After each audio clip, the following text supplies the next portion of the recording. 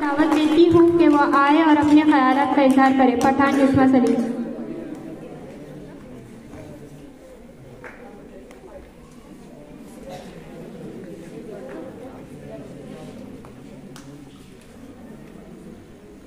मोहतरम सदर मेरे साथी हर कदम तुम्हारा मंजिल की तरफ़ उठे, हर कदम तुम्हारा मंजिल की तरफ़ उठे। आसमान के सितारों को छू लो तुम खुशियाँ, हर दम तुम्हारी राह तके जुगनू की तरह तुम जब मैंने पहली बार इस स्कूल में कदम रखा तो मैं बहुत डरी हुई थी, लेकिन टीचरों से मिलने के बाद मुझे महसूस हुआ कि वो भी हमें अपने बच्चों की तरह ही समझते हैं। ये उनकी मेहनत का नतीजा है कि हम इस मकाम पर हैं। हमें इस बात का बहुत अफसोस है कि हमने इन इस को बहुत परेशान किया। इनका कहना नहीं माना, इनकी, उनकी हर बातों को मज़ाक में लिया। लेकिन उन इस ने हमें बहुत प्यार समझाया, कभी हम पर गुस्सा नहीं जताया।